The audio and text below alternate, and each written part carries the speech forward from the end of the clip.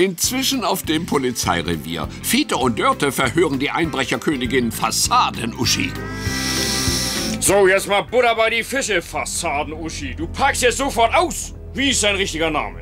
Keine Ahnung, wie ist denn dein richtiger Name? Schnauze. Wachtmeisterschnauze oder Hauptwachtmeisterschnauze? Wachtmeister. Ich bin Hauptwachtmeister. Wer?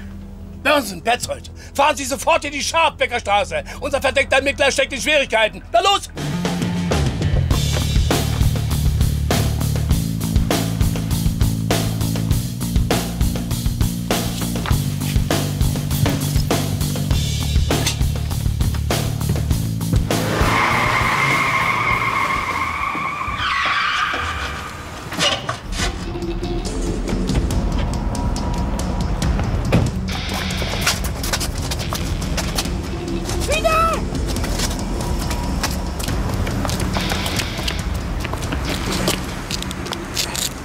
Na, alles tippitoppi?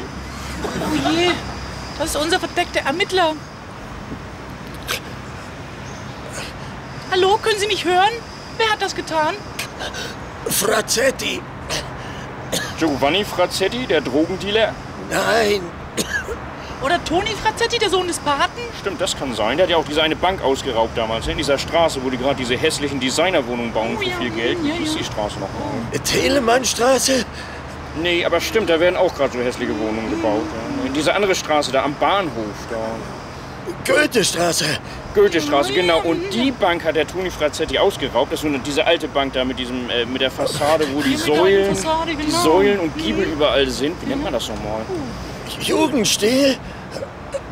Nee, barock, glaube ich, aber keine Ahnung. Müssen wir nochmal recherchieren. Lasst ihr bitte durch, ich bin Quizmoderator. Dankeschön. So, wir können dann bitte. Wie nennt man den durch Säulen und Giebel geprägten Baustil, der auf den Formenbau des griechischen Tempels zurückgreift?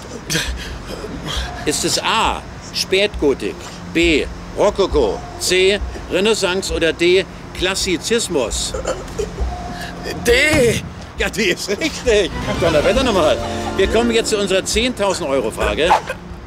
Wer hat sie in den Rücken geschossen? War es A. Giovanni Frazzetti, B. Toni Frazzetti, C. Mario Frazzetti oder D. Luigi Frazzetti? Sie können auch jemanden anrufen. Ein Arzt vielleicht?